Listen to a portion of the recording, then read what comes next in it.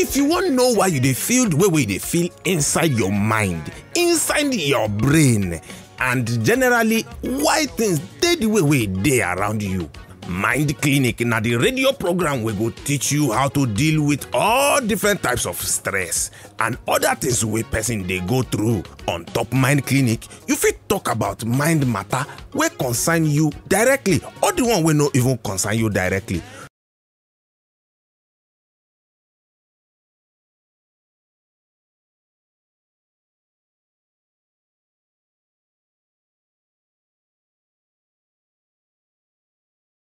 Good morning. The last day in the month of September 2020. By tomorrow, we're in a new month and we will be celebrating Nigeria at 60. Let's not get ahead of ourselves. My name is Victor Peppo. As usual, the ever amazing, very gracious, very beautiful clinical psychologist at NEEM Foundation, Chinyeru Goldensi, our guest on the show. Good morning. Hello, Victor. Good morning. We're very glad you're able to join in. On the program today, we're still looking at finance. Oh my goodness. Uh, we're still looking at uh, finding balance in the workplace. Our guest on the show is a psychologist specializing in business and organizational psychology. She is a C-suite executive and internal consultant in business psychology, human resource development and employee joy and engagement at Fireworks Creative Solution. She runs a consultancy outfit called Canon Mark Consulting. It focuses on thought leadership, trainings and consultations on organizational psychology communications audit, employee joy and engagement. That's new.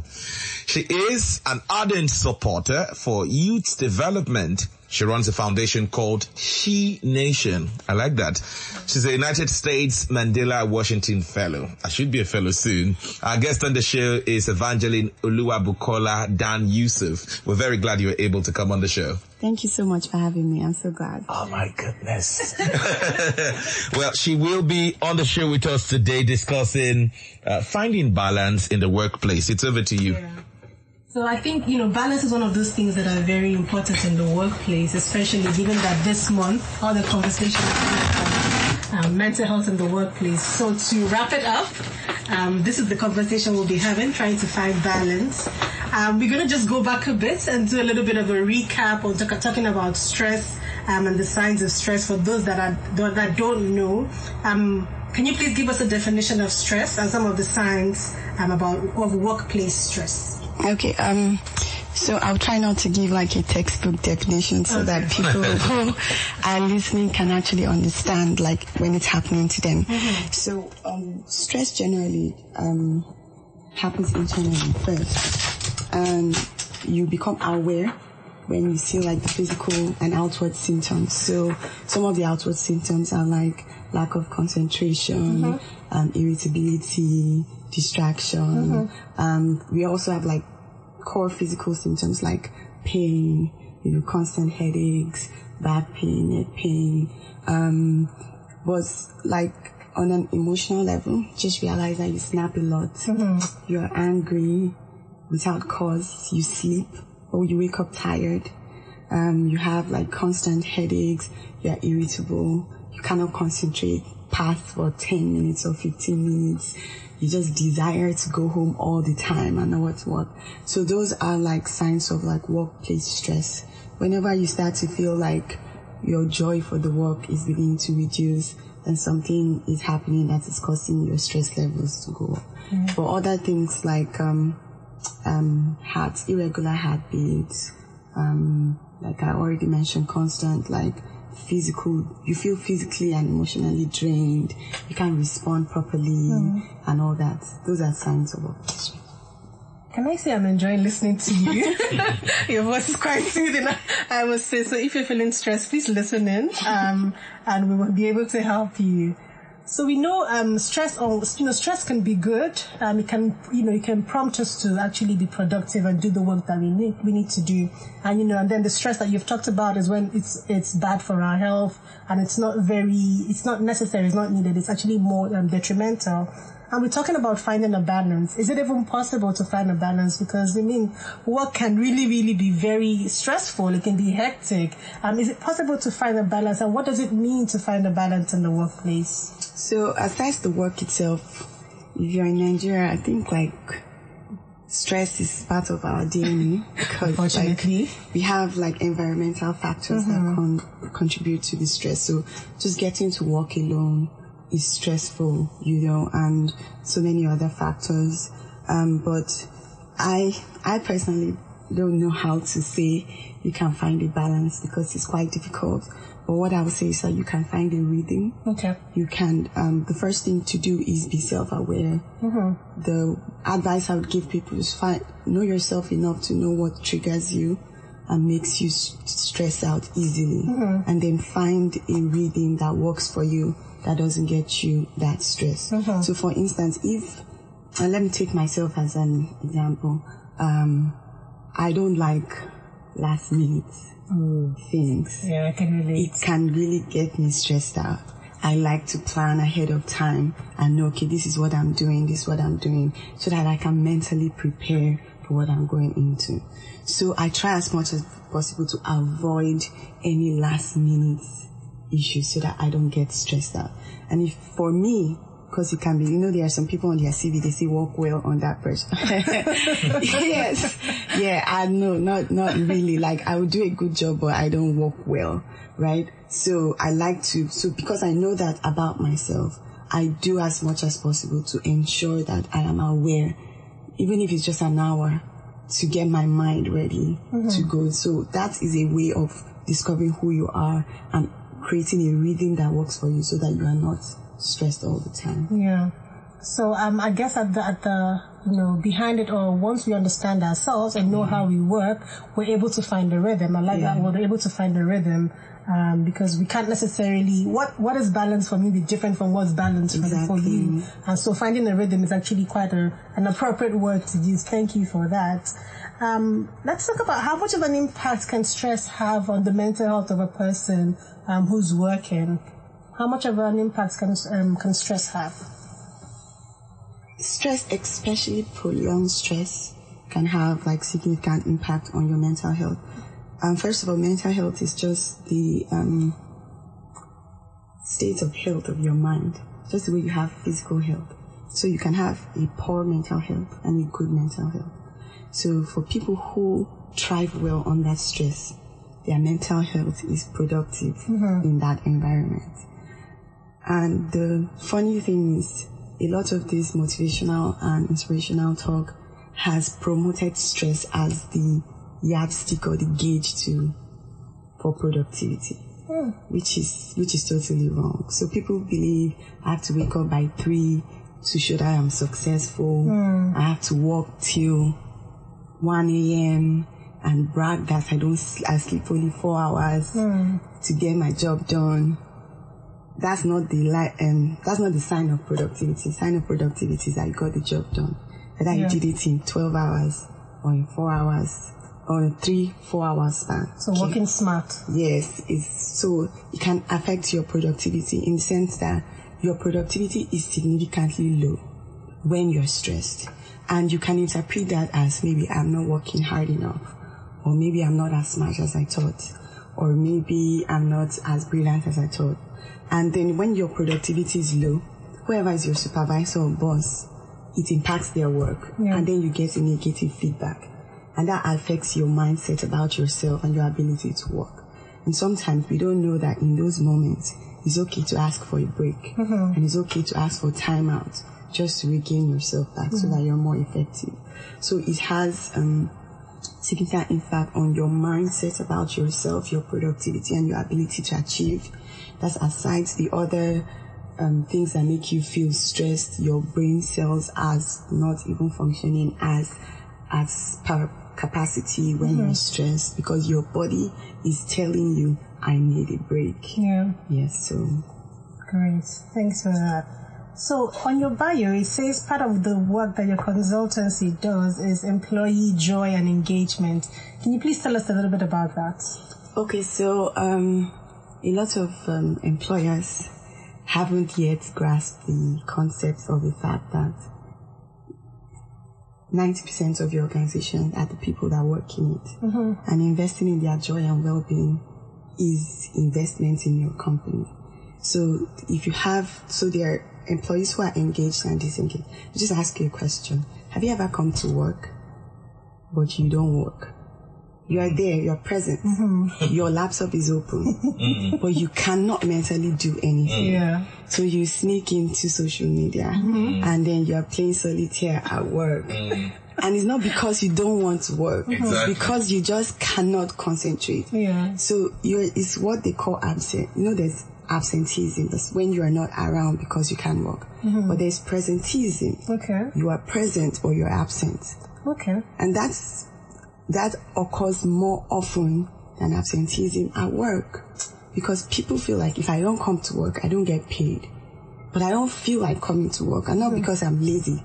I'm just stressed out. But I have to come. If not, I won't be paid. Mm-hmm. And then when you come to work, you cannot do any work because you are not physically and mentally able to do any work. So you are present, but you're absent.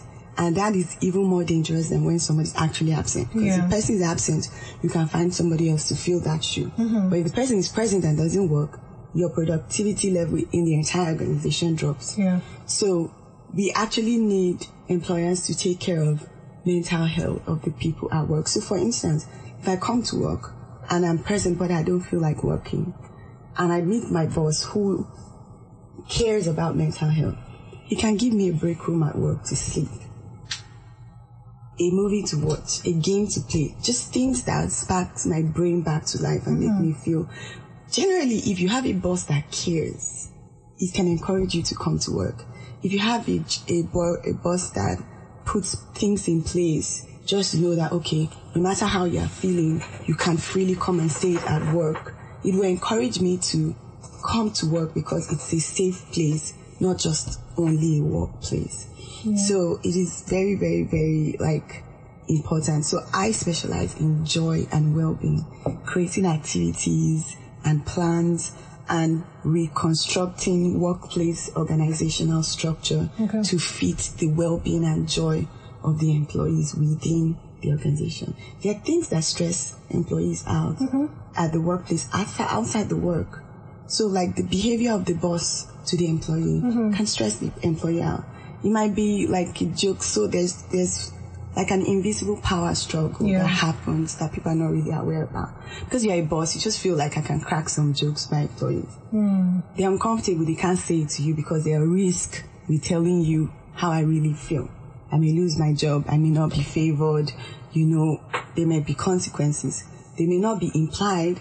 They may be subtle. They may Yeah. even be social consequences like people um, alienating you at work because you don't want to join in your trouble. You understand? There are things like that at work that employees don't know. Like I wrote an article, five things bosses do that employees really, really don't like. Just share. yeah. Please share. So they're just simple things like trying to be overly friendly when they've told you that I don't want you that close to me. Mm-hmm. Or asking about my personal life when I've made it clear, you know, that in subtle ways that please don't ask me, you know, about things like that. Or just physical touch that is mm-hmm. inappropriate. yeah. It may not look harmful, but if the person has told you I don't like it, it's you know, but I'm only joking now. But I don't like I don't it. like you know, it. it makes me uncomfortable because I cannot tell you because of the power struggle that happens at work. And so it mentally affects that person coming to work every day knowing that, oh, this my boss is around, oh, ah, today is going to be a hard day. So imagine entering work with that kind of mindset. You will not be productive because you are, you are walking on eggshells. You are careful. Let me not say something. Let me not do something that would upset my boss today. That's not the work. We're not even talking about the actual work itself that mm-hmm. comes with its own stress and struggle. So there are so many things that happen in the workplace and employee joy and well-being. So for instance, like one basic example is when they're employing people at work, they don't do a mental health assessment Yes. to em- hmm. to employ people. People are going through different stages of mental health challenges. when you say mental health, it doesn't mean person is mad hmm. or deserves to be in psychiatry ward. It's just things that stress people out, things that make them mentally unstable. You're supposed to do an assessment before you employ, so you know the kind of things to put in place should that person have an incident or an issue. Just the way you have health checks and medical checks Yeah. at work. So these are some of the things that encourage employees. Imagine if you come to work and you know that if I ever have an issue, there's someone to talk to. And that person is coded, not that when you go inside, everybody like, ah, this one has issues all Exactly. the time. Yeah, you know, you know, somewhere you can just unleash or unwind and get back to work. You know, a boss that can actually say, okay, you have um, maybe ADHD, for instance, that's attention deficit Mm-hmm. disorder. Say, okay, I understand your challenge.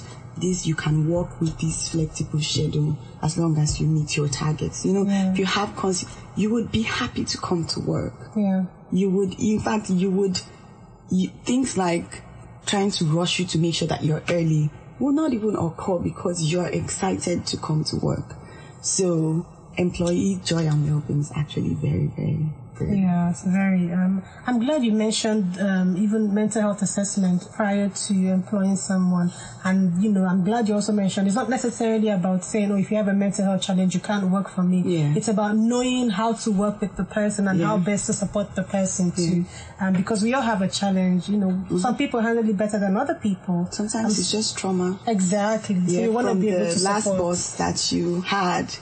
You know, because there's sexual abuse at the workplace. true. There's there's bullying at the workplace. Mm-hmm. There's verbal abuse. There are bosses who have told their their employees down and the person's self confidence has been shattered for a very long time. So these things are actually real issues that impact our work and our ability to work. Yeah. So if you're aware of these little things, you know how to use your words with people. You know how to engage with them. You know how to relate with them enough for them to feel welcome at work.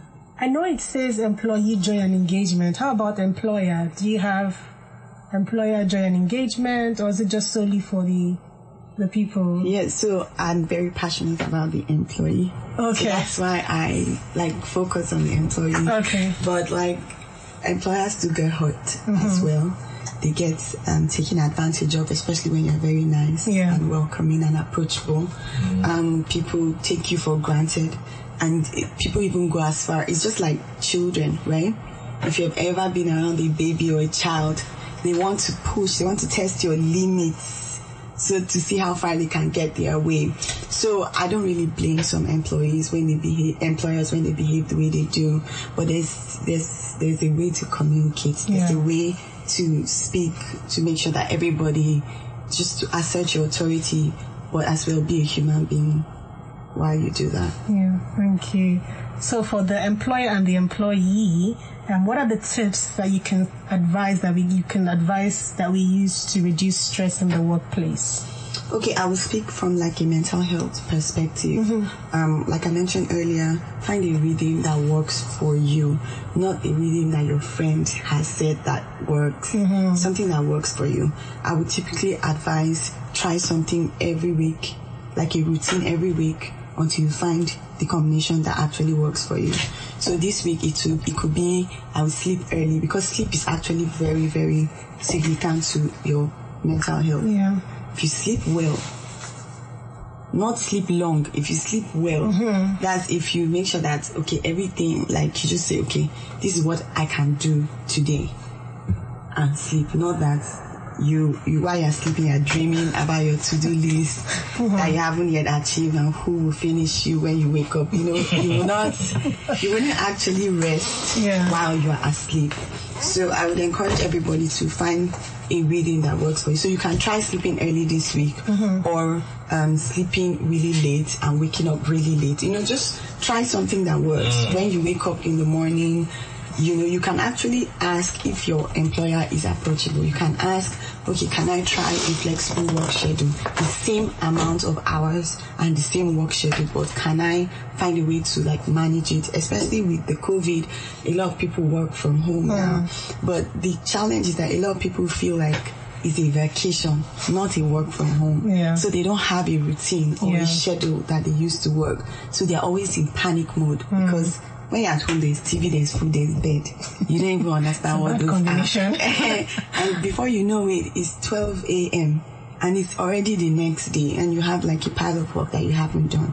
And just try to manage your time well. Mm-hmm. Just you will never get more than 24 hours. And you will use eight of that hours to do nothing, either sleep or gist or be on social media. Social media has made it worse. Hmm. You will probably spend 10 to 12 hours on that. So you have actually 12 active hours. You need to plan those hours comfortably so that you can achieve your targets. And then try to engage in activities that are outside work. Get in sports. I know a lot of people don't like exercise. They like to buy the clothes. but you like to do. Or do something that's fun. Um, have a show that you watch, like a comedy show that takes your mind off things. Have a friend that you call that g- gist with you. Just make sure that you have these mind breaks in between your entire day so that every time you come off them you are refreshed to do something new. Mm-hmm. So that encourage everyone plan your time plan your day plan your sequence plan your reading. Mm-hmm. Reading nice work. I know. yeah and then make make it try to make it work. And if it doesn't work for you that's fine. Try something else until mm-hmm. you find the combination that actually works for you. Great. Thank you. Thank you for those tips. All right, let's see if we can get some of uh, you into the conversation right now. And if you have questions, please do well to call us. We'd like to hear from you on the show today. If you have questions in regards to your workplace, we want to hear from you today. We'd also encourage you to send messages to us on the WhatsApp portal. We'll take a break when we come back. We'll get to your calls and messages. All right, back to the phone lines now. Now let's look at uh, some of uh, the comments on WhatsApp. Please, you can just leave a comment if you do not have questions. You can leave commendations for uh, the guest in the studio as well as our co-host Chinyeru Goldensi. We have a message here on WhatsApp from Austin Olaye. Austin sends a message and says, "How do I manage personal life and work?" How do I manage personal life and work? That's the first one. He goes on, I think about work all the time from my office to the house to church. I don't have a personal life. Even my friends ask me, what do you do for fun? What's your hobby? I can't tell. Most times I tell them that I, I like to work as hobby. Wow. okay. Tying to that as well is a message from no name to this message. This person is asking, how do I balance my marriage and my work? So work life and, you know, personal personal life more like, so these two questions I think are related. Yeah. I would like to say that first of all, there's this misconception that because it's your personal life, it comes easily. It doesn't. You have to prepare for it and plan for it. So the first word I would say is priority. Prioritize what the things that are important to you and then give time to them. So for instance, in the marriage, your family should be more important to you than work, even though money is crucial in the home. So for instance, you can just tell yourself, and when it comes to your marriage, little things count. So I have this philosophy that, you know, when they say little drops make an ocean, don't be struggling to get the ocean. Start with little drops. So for instance, you're married, you can have date nights every Saturday and ensure that you don't do work on a Saturday. Hmm. It's once a week, yeah? But it's once a week that makes sense in a month. Do you understand what I'm saying? Mm-hmm. So, for instance, if you don't, like the guy that said he doesn't have a personal life, you enjoy your work and you want to meet your deadlines. You have just, you are not just aware of your, the significant loss of not having a personal life. You need to be aware that it is as important to you as your job and the way you give attention. So for instance, just start small. Find a gym or find a club or find a movie time.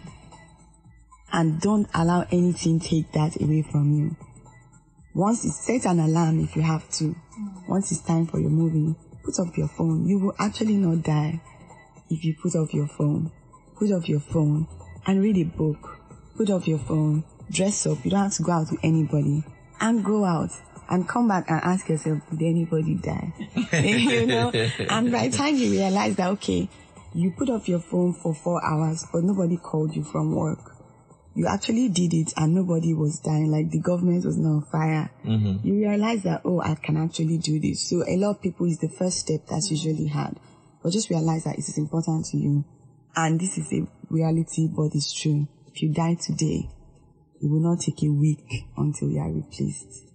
Mm. Because the work will continue. They say, soldier come, soldier go, barrack Barracks remain. remain. Yeah, Exactly. so just make sure that you take care of it. Prioritize yourself, yourself, your family.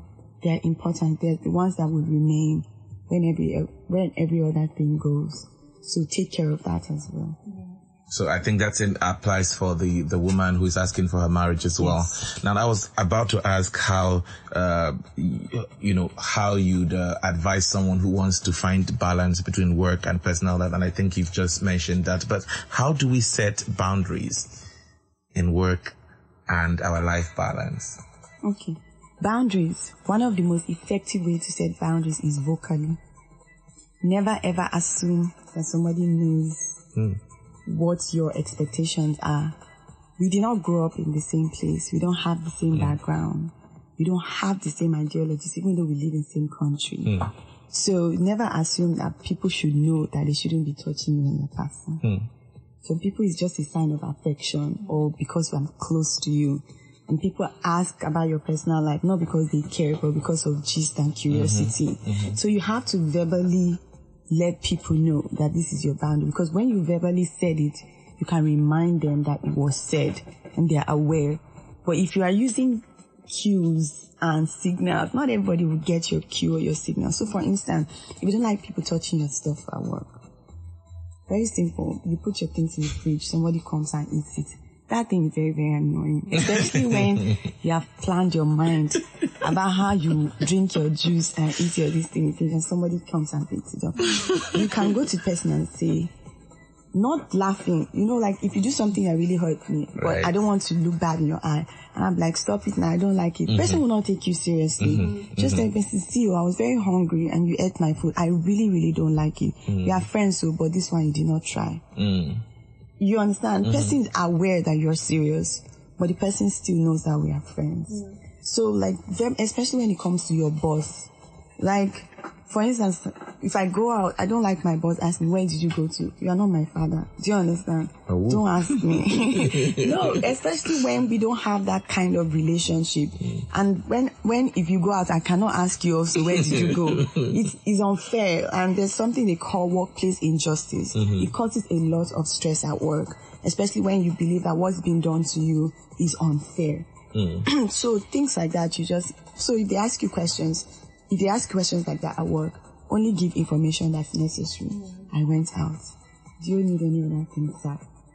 The person knows that because such such familiarity can give the boss an idea that you probably never had in the first place. So just be cautious, but be respectful at the same time, but be firm. Like put your foot down. I don't like this thing. Laugh when it's time to laugh, but when it's time to be serious, be serious. Mm-hmm. That's the way you put boundaries, even with your friends because boundaries is just like land land boundaries. Mm. Over time, they get cleaned out, and people don't know where the line is anymore. Ensure that the line is always clear, and people know where they stand when it comes to you. Like you don't have to be rude or overly arrogant or me. I have boundaries. So do you mm, understand? Mm. No, but just for the sake of yourself and for the next person, make your boundaries clear and voice it out. Like vocally say, I don't like this thing or I like this thing. And the truth is, if it becomes too much for you, you can actually leave. Well, very good place to leave the conversation. If it becomes too much for you, check out. You need to leave. Uh, in, in wrapping up for you, would like to get uh, closing remarks. Um, I think, you know, I guess I said everything. Um, I really don't even have anything to add to it, but really appreciative of um, the time you've taken out to have this conversation with us because, you know, the workplace for for the adult is where we spend the bulk of our life growing Yeah. up. We work, and so it's very important that we learn to manage stress, we learn to reduce stress, we learn to um, say the things that, we, that are on our minds and speak up, you know, because it goes a long way to affecting our productivity. And we want to also make sure that our mental health stays you know, in, in Yeah, good shape. in 'Cause good if you health. are- exactly. If you are mentally unhealthy, you will struggle to be productive in the Yeah, workplace. yeah. And then that forms like a, an, an uncomfortable cycle for you because then you can't take care of yourself or your family. So the idea is that we do the small things every day to make Yeah. sure that we ensure um, that we're taking care of our mental health even in the workplace. So Yeah. thank you. Thank you for that conversation with us. Anytime. Let's have the email and phone number we can reach you at. Okay, so the number to call is um, at Neem Foundation is 0706 062 5054. I'll call the number again 0706 062 5054. Remember that this is just for psychological support. Um, and if you need any questions or if you need to contact the resource person, you can come through us and we'll be sharing the contacts with you. Um, you can reach us on social media at Neem Sanctuary. Is um, N E E M S A N C T U A R Y. I hope I spelled that well. Um, Neem Sanctuary um, on, on Instagram. Send us a message, send us a DM, and we'll reach you immediately. And that's the voice of uh, Chinyere Densi, clinical psychologist at Neem Foundation, sponsors of this program. Our guest on the show has been Bukola Dan Yusuf, a psychologist specializing in business and organizational psychology. Of course, an ardent supporter for youth development. She runs a foundation called She Nation. So the next time you hear She Nation, the founder and CEO is in the studio with us today. She's a United States Mandela Washington Fellow. I'm so excited that she was able to come. Give us clarity.